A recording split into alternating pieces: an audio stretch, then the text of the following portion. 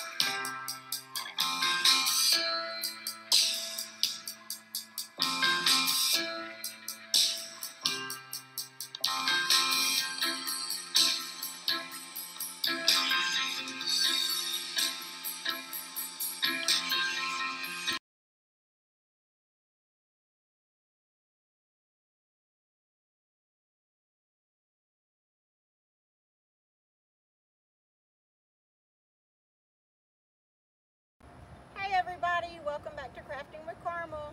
Guess what we're doing this week? We are repurposing milk crates. With this wonderful pandemic that's going on, we all have been cleaning out, doing things, and this is an easy way to repurpose these milk crates and create a storage area. So that's what we're gonna do. These guys over here I've already painted because we're gonna use these trusty old zip ties to get them together. But right now, we're gonna go through the process of what we're doing. I am using Rust-Oleum satin two times ultra cover paint and primer. And I picked this color because I like it. And basically all you got to do shake it up get away from it so it doesn't get on you and just start just start spraying.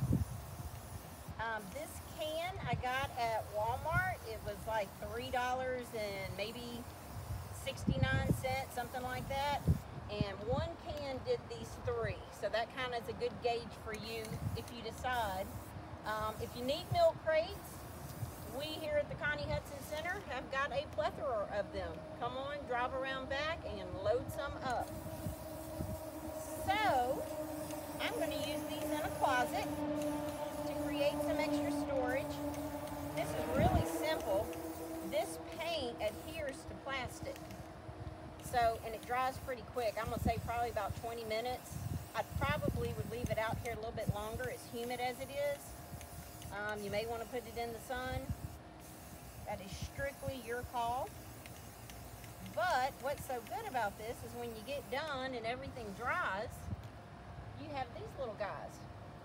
And depending how you wanna put them in your closet, with the zip ties, now the ones that I have, I need to zip these guys kind of here, right here at the base. And all this is going to do is just help keep them together from sliding around. And of course you don't want to do this till you get them in the closet. But after doing that, and I can secure them here, it's just going to help keep them together.